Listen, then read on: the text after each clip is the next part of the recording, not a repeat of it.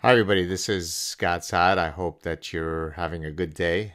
Today, I wanted to spend a few minutes uh, discussing some parental tips to any of you who may be thinking what are some ways by which we can foster our children's intellect, uh, foster a good relationship with them, and so on and so forth.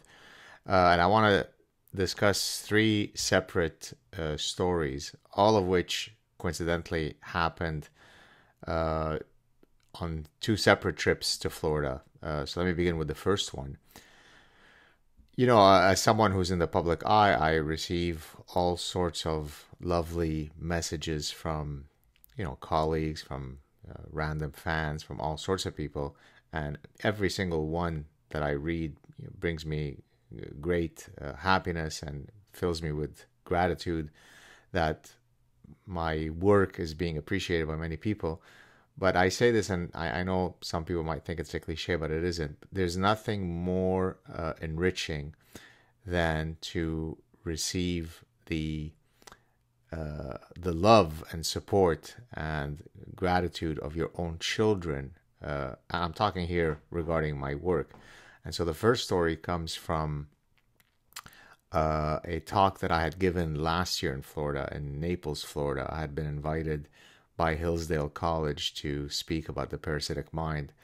And uh, Hillsdale were just unbelievably generous and gracious. They, they, they put us up in two beautiful villas. They flew my entire family, my children, and my wife. Uh, just incredible. And uh, uh, when I gave the talk, uh, my my whole family was there in the front row, and so they actually uh, all got to see me in action. It was a you know pretty you know very large audience uh, with a lot of uh, you know uh, influential people, including the president of Hillsdale, and they all you know were came up to me and were delighted by the talk and so on. I I don't know. I don't think that they've posted it on their YouTube channel. They meaning Hillsdale, but I think you can still find my entire uh, lecture on uh, their Facebook page. Um, so in any case, uh, the reason I'm telling you the story is because I would once in a while kind of look at my family uh, as I was delivering the talk, and I was particularly on that day, you know, uh, you know, sometimes you speak to a crowd and they're, they're, somehow you don't, you're not, uh, you're not tangoing properly, but here every, every joke, every moment of levity, every serious moment, you know, the, the, the audience was fully tuned in and I would look at my children and wife and see how they're looking at me. And that was, you know, more valuable and gave me greater pride than, than anything I could have received from the, the most influential people in the world. And then at the end of the talk, uh, when you know I, I went down from the podium and you know after people had come up and you know said all you know said hello and said all kinds of nice things and selfies and so on, my daughter looked at me and kind of gave me a hug and she said, hey, "I'm so proud of you, Daddy." And just that one sentence was worth all the weight of gold in the world. Uh, so when you have your own children, in this case they're young children, uh, being proud of you, then you're you're doing hopefully something uh, well. So act in life to make those closest to you proud of you. Uh, so that's tip one. So if you're if you're if you're faced with a situation where you could do A or not A, think how will this resonate with my children? Will they think uh, better of me or lesser of me, and then act accordingly? Uh, so there's nothing that is more beautiful than when your own family, your wife, and your kids, your young kids, uh, truly are filled with pride for what you do. So that's number one. Second point I wanted to make is uh, a point that I've made in the past, but I will, you know, restate that that that theme in the context of another situation that happened in Florida. So, so the first story comes from when I was in Naples, Florida. Uh, most more recently, I just came back from a family vacation in uh, also on the west coast of Florida, and on one of the days we had gone to uh, Sarasota to uh, first time ever. Actually, we really loved the the area. Uh, by the way, I in Sarasota I discovered this incredible bookstore, and one of the people who was working at the bookstore told me of a secret room uh, where we were taken to that secret room where they have all these antiquarian books. Uh, I I ended up buying this book, which is not an anti it's not an antiquarian book, but uh, uh, it's a biography on Linus Pauling. Some of you may know that Linus Pauling remains, if I'm not mistaken, the only person to win two Nobel prizes uh, solo. I think one for chemistry and one for uh, peace. And so I thought that in my vast collection of biographies, I should have Pauling's uh, biography. And so I look forward to eventually reading it. But in any case, uh, on the way back from Sarasota, you know, it was nighttime and we were driving back. It was about an hour and a half drive back to our hotel.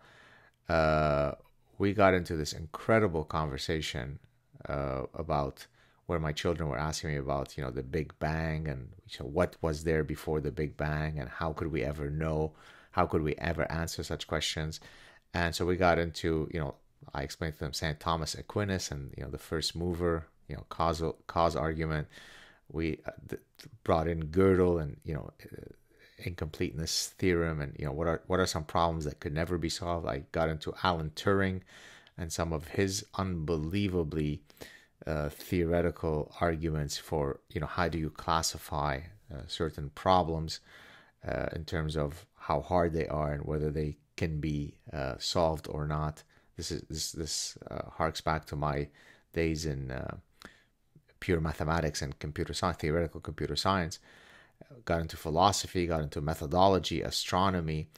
And it's one of those conversations where you really feel as a parent, you know, you're you're you're doing something right because you know, today we have the TikTok generation and Instagram and kids have short attention spans and, and, and my kids are no different from any other kids in that it's often very difficult to get them to, you know, to pry the the electronics away from them, but that we were able, that I was able to uh, engage them and and and trigger their intellectual curiosity, uh, so that we could have such deep and meaningful conversations that gave me such a high, and I was.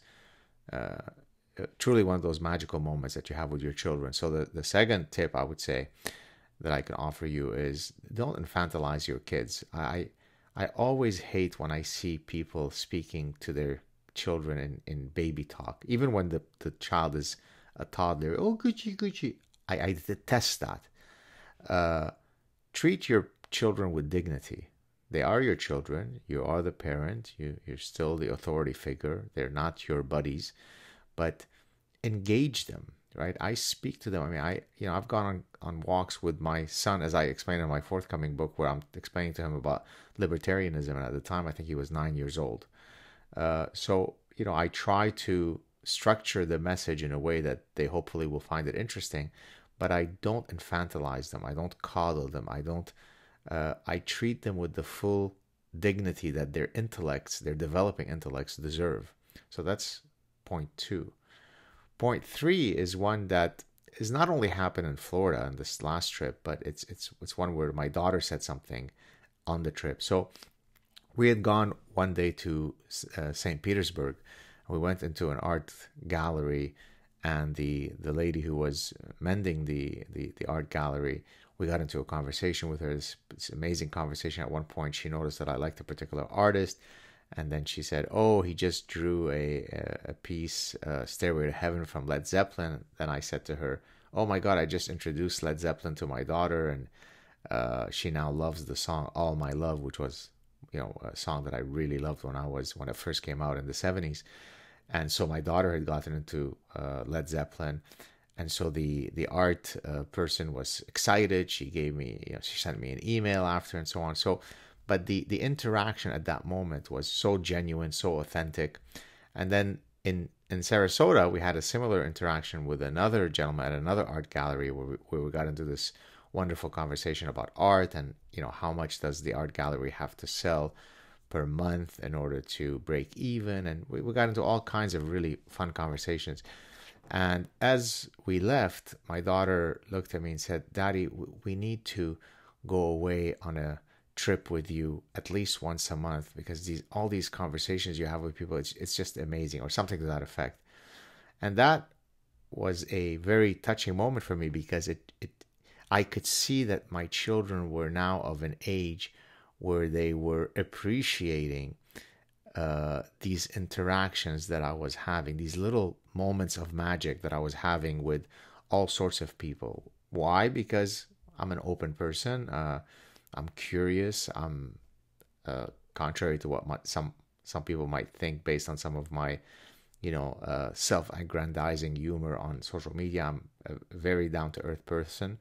Uh, and and I just open myself up to all kinds of interactions. I think that's one of the reasons why the Saad Truth has been a popular show because people come on my show and uh, you know it's very it's a very warm and inviting environment and right away they feel comfortable and we have these really great uh, intense and uh, intimate conversations but that translates into how i live my life in the in the world outside of the Saad Truth right and so to, to summarize the first story is about you know always hopefully living your life in a way that makes your children proud of you right because we, we often hear about you know uh, you know, uh, children should make their parents proud. I mean, yeah, that's true, but parents should also make their children proud of them, right? It's it's, it's not a one way street. It's not a parasitic relationship. Uh, it's it's a two way. All healthy relationships are reciprocal. So yes, children should make their parents proud, but certainly the other way around. The second story I told you about is engage the intellect of your children in meaningful ways.